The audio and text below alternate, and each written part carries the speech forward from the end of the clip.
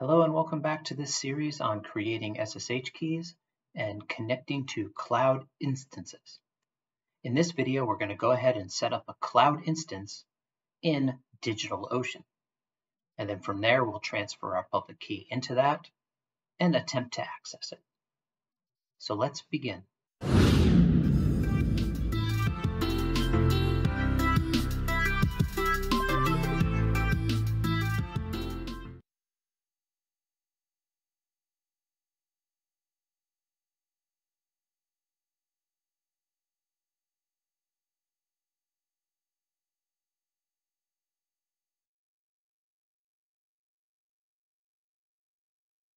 We'll start by opening up a web browser and navigating to www.digitalocean.com or just digitalocean.com.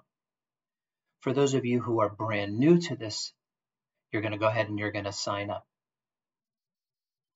This sign up is going to require that you enter in a credit card and you'll be able to create your instance that we need for this particular video once your credit card is approved. Now, quick point, I am going to be setting up a instance that costs money. So if you're not interested in spending any money, then just be aware that there is a financial obligation if you move forward with following this video. Okay, now that we're signed up, let's go ahead and log in. So I'm going to hit the login button and I'm going to put in my password and I'm going to sign it.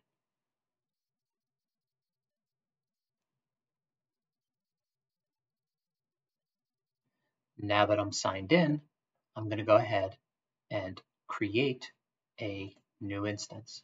So I'm going to click the create button and I'm going to say create droplet or cloud server. From here, I'm going to choose Ubuntu 20.04. I'm going to keep the basic CPU I'm going to change to a regular Intel SSD because I don't need a premium SSD. And I'm going to choose the $40 a month or 0.06 per hour. And then I don't need to add any block storage. I'm going to choose New York 3, which is already chosen for me. You can choose whatever you want. Um, generally, you want to choose something that's closest to you so that you have nice performance between your local system and your remote system. Since in general, this is a decentralized way of doing work, it doesn't really matter where the instance lays. We're going to keep our virtual private cloud network at default because we don't really need to go into depth with VPCs. We're going to select monitoring so that we can get a nice dashboard when we're going to do our work. And then we have our SSH key. We're going to check that because we don't want to do a password because that's not secure. It even says here it's less secure. And then we're going to click on the new SSH key. Once we click on that SSH key, we're ready to add the contents of our public SSH key into the contents area.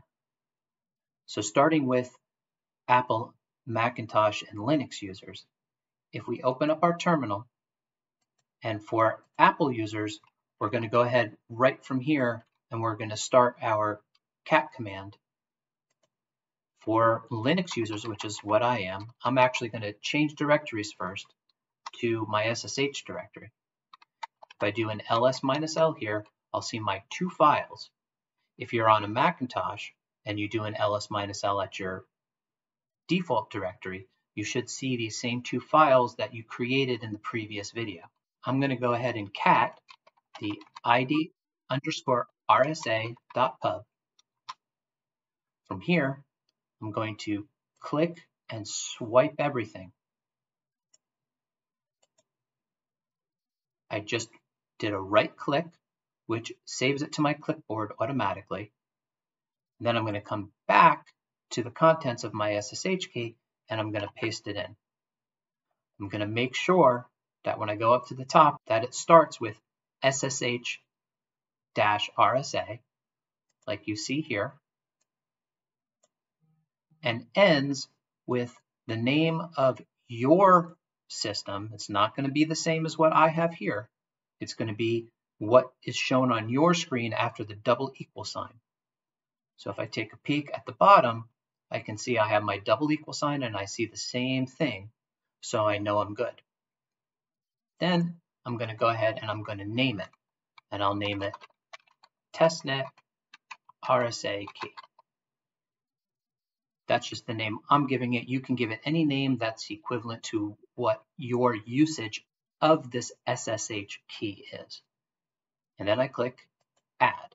Now you'll see that right here, my testnet SSH key is, is shown here. And when I put my mouse over it, you can actually see the entire SSH key in a tooltip, which is kind of cool. Okay, for Windows users, I didn't forget about you. In order to grab your SSH key, you'll get that public key to paste in right here in your keygen PuTTY session that we created earlier in earlier videos. Now, if you had closed this out from the earlier videos and you don't have this and you need to get this back up, there are several things that we can do. And just to show, it goes all the way down to here and all the way up to here. There's several things we can do. If I go ahead and uh, close this and I reopen PuTTYgen, I can click the load button. When I click the load button, up will come, for me at this particular point, the exact location of where that constellation test key that we created earlier was. If I click on it and I say open, since we have a passphrase that we added into, it's going to ask for that passphrase. So if I bring over my notes, I can just grab my passkey and copy it and then paste it in, hit the OK, and up will come my SSH key that I can then highlight and grab. One other option that we have is we can bring over Notepad and bring up our key. Then we can just simply drag our key into Notepad. Now this is a little different of a format than what you found when we're doing the Linux side, but that's okay. When you paste this in, it should work. So now we can continue the video from where I had the Linux and Macintosh SSH key up. So now, continuing, I'm going to go ahead and move down. I want one droplet, and I can choose a host name for my system. So if I decided that this is, for me, is a testnet system, because I'm using testnet because I'm creating this for Constellation. And I'm going to call it testnet node 01. So this is my testnet node 01 that I'm creating here. A tag, you can name it, just to help to simplify things uh, when you're doing other things like creating firewalls or whatnot, you can give it a tag. I just gave it a tag of the exact same name as my host name. So I know when I'm working with tags, which are just ways to annotate um, elements inside the cloud. I'm selecting the project for this, which um, you can create any project that you want. I'm not going to enable backups because I don't want to spend the extra $8 a month. I don't really need this to be backed up. And then I'm going to click Create Droplet.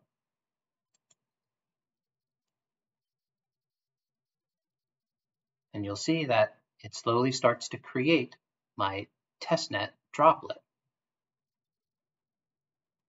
And we're done, and I have a external IP address for this droplet. Let's mark that down for later usage. Now what I need to find out is what my local system's IP address is for the next step of this video. So in a new tab here, I went to whatismyip.com and it gave me my IP information to which I copied into my clipboard. I can go back to my notes and I'm going to put in there the IP address of my local system. The next important piece that we need to do is set up a firewall so that we protect our system. And we have specific things that we want to enter into our firewall. So I'm going to go on the right side and I'm going to click on networking. I'm going to choose firewalls and I'm going to create a firewall. I'm going to name this firewall testnet security group.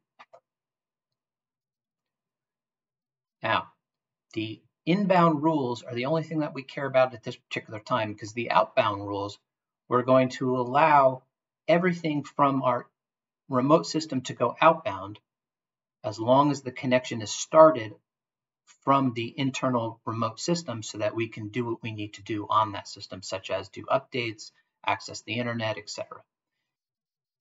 So here I have the SSH, which is our way of connecting through our secure shell, which we're learning in the series, that SSH. Now it uses TCP port 22 to access our system. We'll leave that at default, but we do not want every IPv4 address on the internet and every IPv6 address on the internet to access our system through port 22. It's just bad security. That means people can sit there all day long and try and hit your machine and hope that they can get into it. Even though we have a 4096-bit SSH key and a passphrase associated with it, since we're dealing with our personal information, you know, for this particular case, something like cryptocurrency, we don't want people to be able to access our system at all, at all costs. So we do everything we can to keep this limited. So what I decided to do is X out the IPv4, X out the IPv6, and I want to add a source here. And the source that I'm going to add, and I'm going to say I only want my local system with my particular IP address to access this. So I'll go ahead into my notes and I'll grab the IP address of my local system that I want to be able to access this remote system. And I'm going to paste it in here.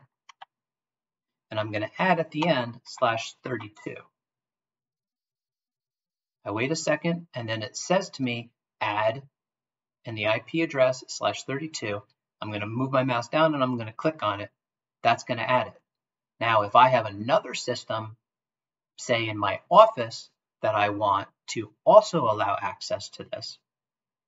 I'll go to the office, I'll go to the what is my IP page, I'll find out what that IP address is, and I can enter that in here, slash 32.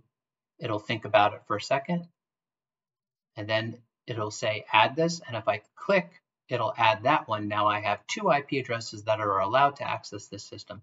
This 1.1.1.1 is fake, so I'm going to delete it by hitting that delete key. Now I want to add a new rule. So I'm going to click the new rule. It's going to be a custom rule. And for my particular purposes, I want to allow port 9000 through 9001, which is for the cryptocurrency testnet that I'm building the system for. And it's a requirement. And I want everybody on the internet to be able to access this. Now you say, well, with the SSH, I'm only allowing this, but all of a sudden you're sitting here allowing all everybody to hit this this 9000 port.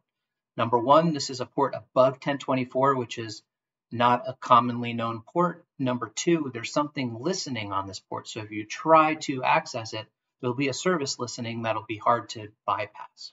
Now I have another new rule I want to create. It's going to be a custom rule, and it's going to be port 9002. And again, for this one, I'm only going to allow my local system. So I'm going to type in the IP address of my local system with the slash 32 at the end, give it a second to load, and I'm going to click add an address. If I want to add my office or another location, I would do that here. Now, port 9002 is hitting our specific node here to hit a web page, um, a specific element that is private to just the node owner, you or myself. So that's why I did this here. And I want to create one more custom port TCP port 9003 and I'm going to allow everybody to get to it. So port 9000, 9001, and 9003 are going to be accessible to everybody on the internet. It's part of this particular instance in this cloud for my purposes that I need. Now, granted, if you're here trying to build a firewall for yourself, for uh, a web page, or for something else, you might not need all these ports. You would just really open up port 22 and maybe port 443 for um, secure HTTP and port 80 for regular HTTP um, and or maybe any other type of service that you need. So that's it for my firewall that I want. I'm done. So if I go all the way down to the bottom, I want to apply this firewall to one of my droplets. So there's where that tag comes in. I'm going to click in here and I'm going to start typing in the, the tag and it should pop up and show me that I have a bunch of tags and one of them is my droplet. So I'm going to choose this droplet that I created, and then I'm going to click Create Firewall. Firewall was successfully created, and I am done creating my instance in DigitalOcean, and we're ready to access it. So in the next video, we'll go ahead and access our node to complete a successful creation of DigitalOcean. I hope this was informative for you. Thank you for watching, and I'll see you in the next video.